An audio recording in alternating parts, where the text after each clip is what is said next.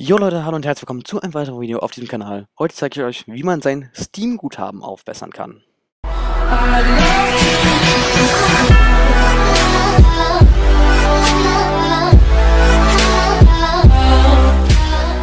Ja, das ist auch im Prinzip total einfach und ganz äh, Steam intern. Und zwar geht ihr dazu einfach auf äh, euren Profilnamen, ähm, scrollt dann eben runter auf Inventar und äh, klickt dann eben da drauf.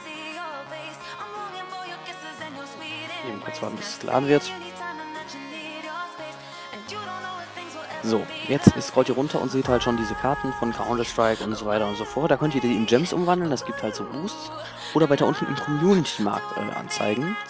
Äh, da steht jetzt zum Beispiel bei der Counter-Strike-Karte ab 0,07 Euro, also 7 Cent.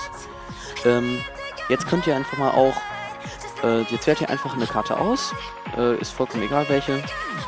Ähm, ich habe jetzt die ganz auf ihre Icarus-Karten genommen, weil Baum einfach so. Jetzt könnt ihr da also euren Preis eintippen, den ihr erhaltet und dann wird automatisch schon eingegeben, was der Käufer zahlen muss. Und äh, wenn ihr dann einen Preis eingetippt habt, der natürlich im Bereich liegt, bei mir waren es jetzt 0,04 Cent, ich habe dann auch glaube ich 0,04 Cent angegeben. Ähm, und dann tippt ihr einfach auf OK zum Verkauf anbieten. Da bekommt ihr auf eurer Steam-App so, ähm, so eine Benachrichtigung, eine Bestätigung als Anfrage, dann äh, bestätigt ihr das eben und dann wird das beim Kauf angeboten. Äh, und dann können das andere User kaufen. Und das Geld wird euch dann gut geschrieben.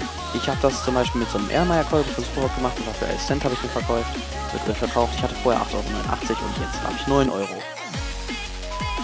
Ja, ich hoffe, euch hat das Video gefallen. Ähm, lasst doch ein Like da, wenn ihr wollt. Wir sehen uns dann beim nächsten Video. Vielleicht könnt ihr euch ja auch ein bisschen Geld damit zu verdienen.